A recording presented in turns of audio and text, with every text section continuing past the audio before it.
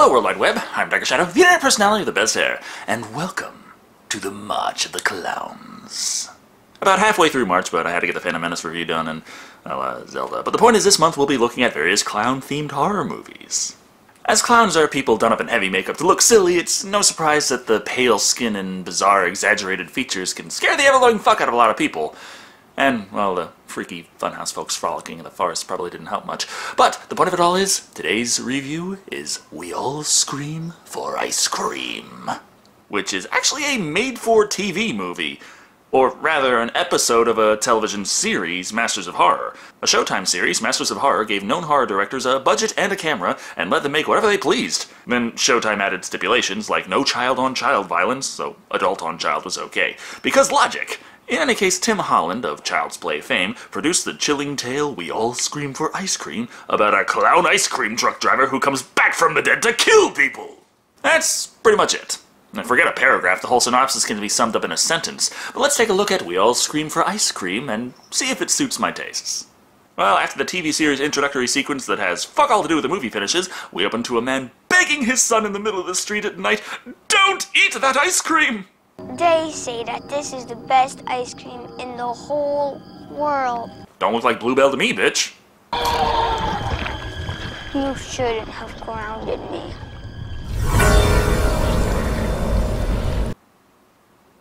Okay, what the fuck am I watching? Oh, I, I, I suppose that did answer my question, so thanks. Thus, after the opening credits are shown along with a cameo of the ToeJam and Earl Phantom ice cream truck, we suddenly teleport to a funeral! Here we see Papa Joe, played by Tim Henry, give a heartwarming eulogy about how Kent, played by Brent Shepard, for the 20 seconds of screen time he had, truly meant a lot to him. Seems Kent meant so much to the people of this town, they have to let Lane, played by Lee Tergesen, know exactly how much. You never should have moved back here. That should have been you. Fuck if it's rude or not, I want a wife who spends her time at my funeral telling everyone else how she wishes they were dead instead. That's love right there. But yeah, Lane used to live here, but moved away some time ago because of dark, dark memories. It's ch- cheery time. Uh-oh. Come on, kids, gather round. Uh-oh. All that ice cream. All those smiling kids. All of my friends. But I was lactose intolerant! They don't tell us what the actual issue is just yet, but don't worry, there's plenty of slow panning shots and somber music to make you realize you're supposed to feel something here. I mean, we've had no time to learn about these characters or information to go on, but go on, have feelings.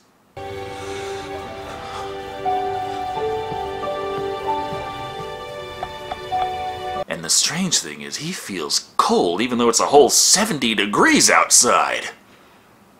Of course, I, I'm in Texas, and 70 is. Uh, no worries, he's just overreacting. Life here is great with his wife Angela, played by Ingrid Tersch, and his lovely son Toby, played by Quinn Lord. I was seeing an old friend of mine. How's he doing? He's resting now, boss. Oh, great. Well, what exactly is wrong with just telling your kid he's dead? The guy's dead. This is a horror movie. People die. I mean, it's a lot less disturbing in the long run than Toby's little going around with yippee nap time. So the kid is acting creepy, but it's Lane's own damn fault. So he goes to the usual spot for dealing with his own failures as a father, the bar. This specific establishment being owned by Papa Joe and frequented by a childhood friend, Toot, played by Lyle St. Goddard, who points out that there was another childhood friend who died before the last one, therefore, connection. Did you look in Kent Baffler's casket today? No, it was a closed box. You know why? Because all that was left of him to bury was his clothes, too. His prize Jinkos. I guess it really is over. What the hell? My god, it does fit in a pocket! It all happened since Lane moved back to town. Lane. Lane. Yeah? Ah, yeah, the familiar awkward moment where you walk into a room and don't know what to say, and everyone around you thinks you're a serial killer.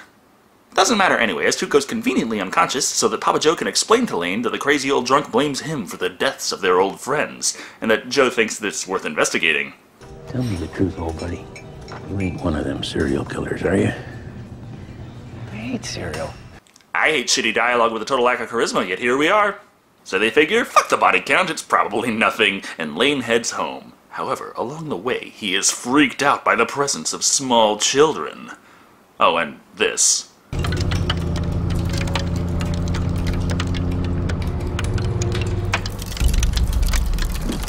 Damn it. Weird ass supernatural unseasonably cold ice crystals forming all over the windows of his car, and he's just reacting like, oh man, I left the ice scraper in the garage. He also seems to have left his kid in the driveway, or some weird otherworldly force did. You scream. For ice cream. Where'd you hear that? School, probably. It comes from a song made in 1927. Where'd you hear that? Or countless children's television shows. It's an extremely common phrase. It'd be weirder if he somehow made it to 10 without hearing it. Thus, Toby doesn't have to answer his stupid questions, and he is taken back inside where Lane can be angry with his wife for letting him waltz out by the side of the road at midnight. I don't know what happened. I, I would never do anything to her. Hey, hey, it's okay. I'm not angry. Anger requires a range of emotion that I'm just not capable of portraying. But what's this? Around the same time, we see the Phantom ice cream truck is doing the unthinkable, giving a child ice cream. Around this time, Toot is being driven home, but demands they let him out because he has to barf.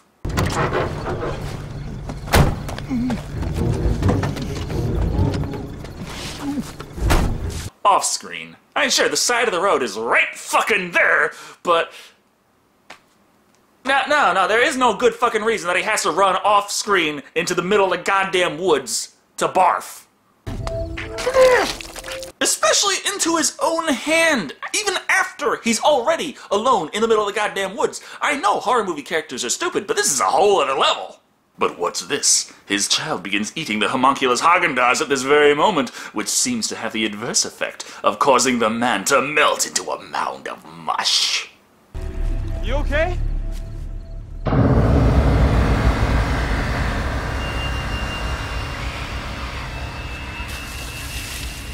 Speaking of stupid characters, are they honestly going with the angle that this guy thinks that this squirrely looking motherfucker in the woods is the guy who did this?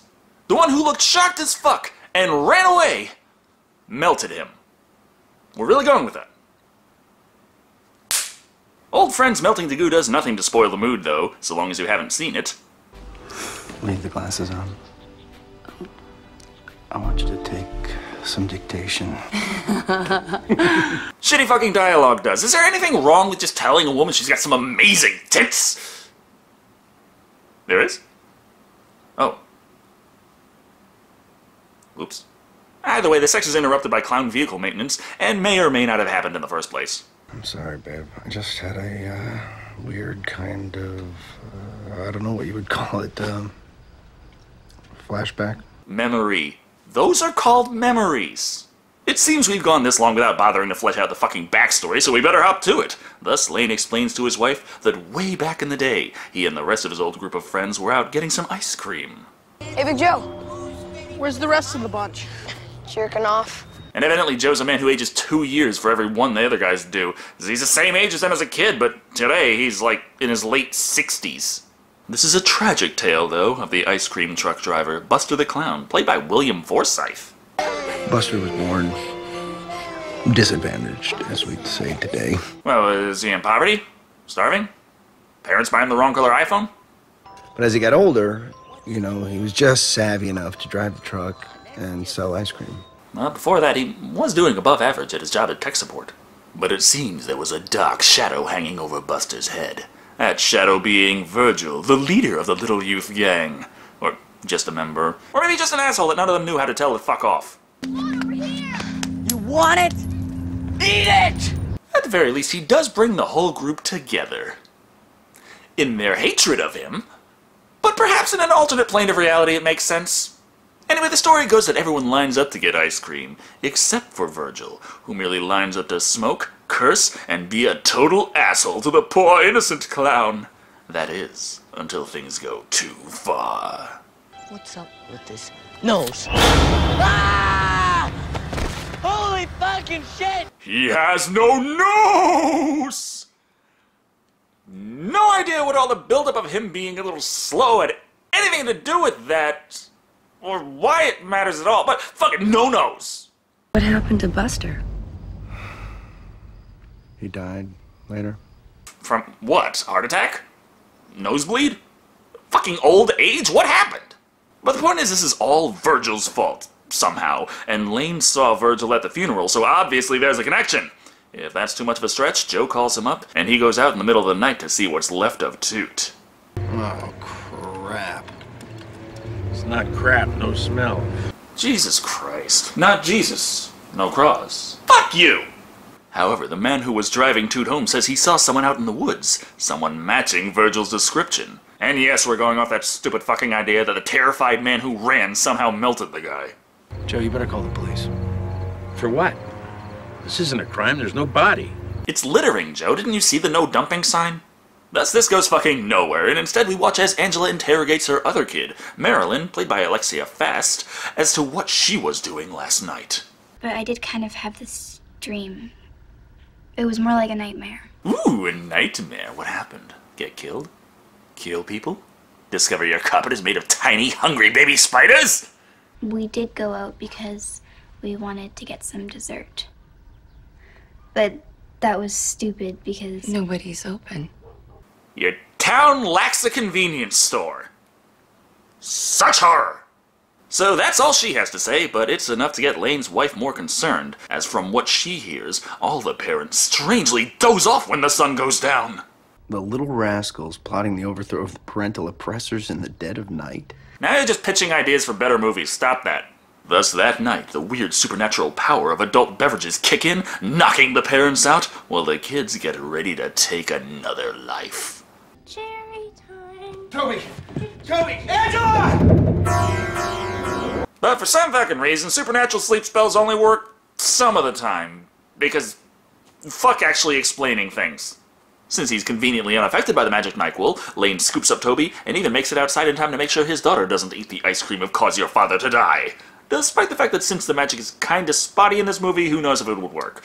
Either way, there's something far more important to note here. You got something stuck on your shoe.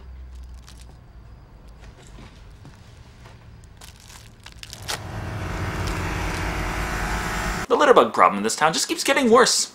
It's a shame. What's going on? What part of that little guilt trip story did you not tell me? Guilt trip? He didn't blame it on you, you self-centered bitch. He did get the whole fucking thing wrong, though. Turns out buying ice cream wasn't a spur-of-the-moment idea. Nothing at fucking all happened involving the nose, and he's even got several more friends in the gang now. It turns out the tragedy that befell Buster that day was because the kids decided to pull a prank on him. One distracts him by forcing him to do math and make change for a fiver, while another pushes. And finally, Lane's job. Do it, you pussy! Come on, do it! Release the brake on the ice cream truck, causing it to roll down the hill, crashing, ruining his job, and utterly fucking up this man's life. Ah, silly, harmless pranks. Except, of course, it's even worse because Buster's directly in his path and is fucking crushed by 16 tons of sweet death.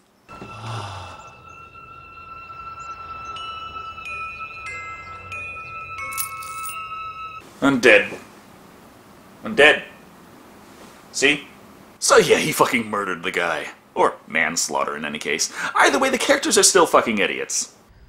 So what? N- Now Virgil is tripping around in a clown suit playing Pied Piper? Look on his face like, bitch, I can't believe I reproduced with you. Because he knows it must be the clown come back from the dead doing the killing. She thinks this sounds crazy, so he tells her to take the kids and go to her mother's for a bit. There's literally no bad side to this, so obviously she refuses. No bother, Lane has to head out to talk to Virgil about this, because... Fuck it, we gotta get him properly introduced one way or another, and I need to mention that he's played by Colin Cunningham.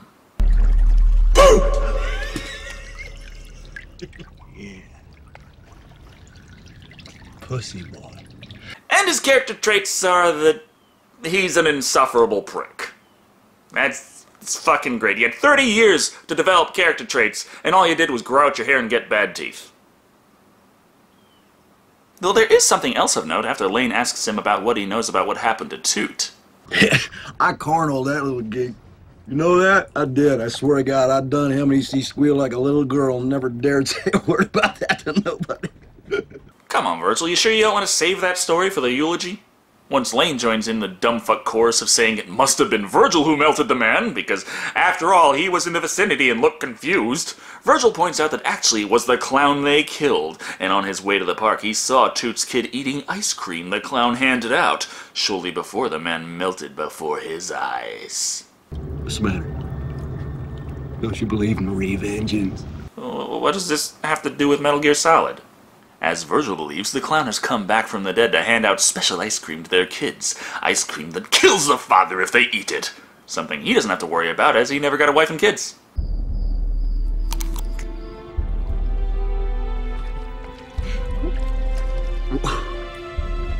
Woo! My kid bites into a York peppermint patty, I get the sensation that my colon is having a fight with my spine. No surprise he had a kid he didn't know about and begins melting before our eyes.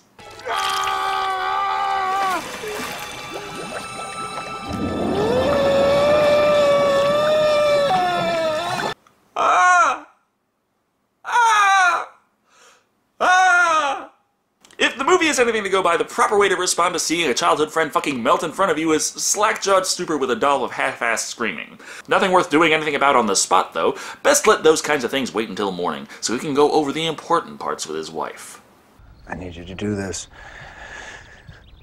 without asking any questions, without hesitation, because you trust me. Get the lube. Nah, he just wants her to take the kids to grandma so they don't kill him. Honey, that's a four-hour drive. Please. Ah, saving your life is mildly inconvenient. With that out of the way, he heads over to Papa Joe's for some help, which he doesn't get because Joe thinks just because they're the last two standing, that's no reason to think any of this is true.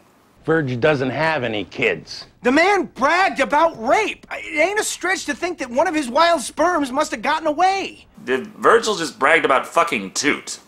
He didn't specify if it was willing or not. It's kind of a jump to make.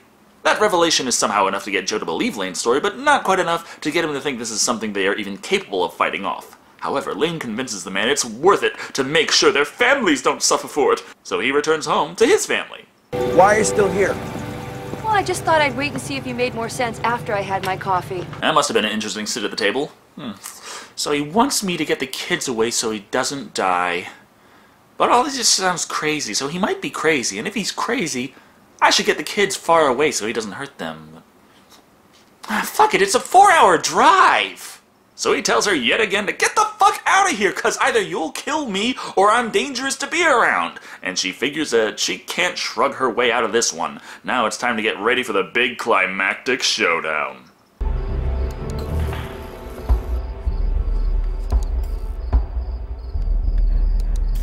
What the fuck?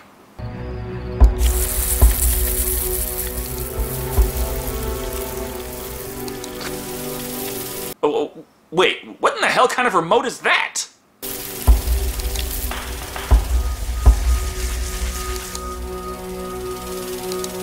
Wha- Wait, what the fuck is that? Why the hell does he suddenly have a prop from an Adam Sandler movie?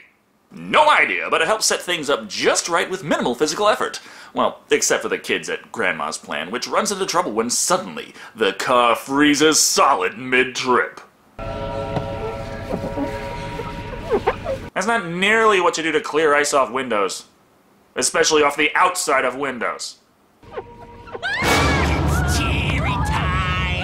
But it is helpful when the bad guy's like, Oh, I was gonna jump scare, but the fucking windows are iced over. Man. This means the kids in zombified ice cream hunger leave the car, as these fucks have never heard of child safety locks. And Lane gets an idea for yet another way to save himself from the killer clown.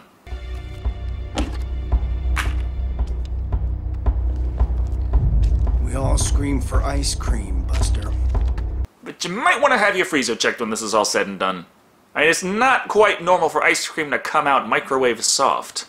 Oh, yeah, but there's still Papa Joe in this movie.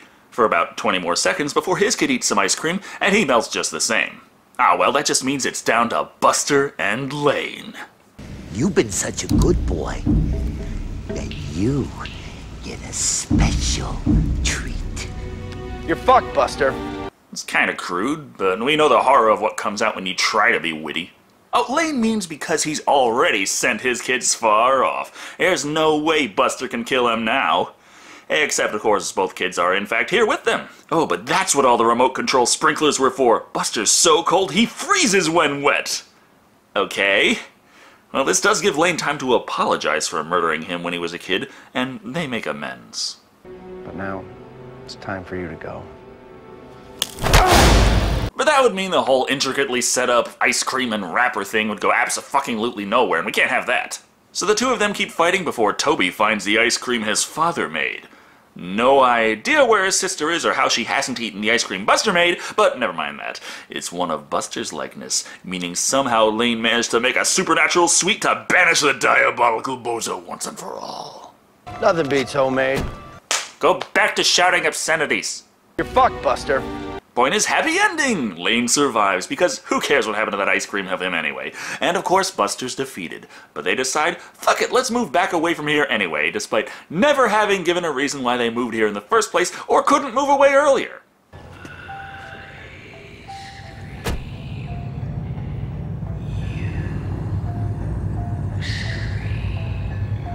Only to still be haunted by the ghost of the ghost of the clown. That's a funny thing. Killing him didn't work. Twice. Anyway, that was We All Scream for Ice Cream. And it's not good. To be fair, as it was an episode of a television series and not a full-on horror movie, you can't expect it to be life-changingly phenomenal. At least I think you can. People tell me I'm missing out these days for not watching TV, but I digress. The movie uh, episode uh, this uh, doesn't do a particularly good job of pacing or setup or acting or anything really. I was actually kind of surprised when I looked at the DVD case and found out the running time is just under an hour. I was bored enough during the initial viewing that it felt a lot longer to me. The opening starts off with a bang to get our attention, but then drags on like it's trying to evoke emotions out of us for the loss of characters we literally had no time to get to know. Obviously, I can forgive supernatural elements in horror making little sense, but they don't even try to explain it in the story. Buster came back from the dead because otherwise there wouldn't be a story. He waited for Lane to move back before killing people because he just did. His method is ice cream eaten by children because, uh, yeah, almost no explanation to be found, and when they do try to explain things, it's insane. They go over how the children are willingly killing their parents because they want revenge. Revenge for petty shit like being grounded. As it's established, most of these guys are good fathers. At the end of the day, with this mountain of problems before it, there is still a little charm to a story like We All Scream for Ice Cream.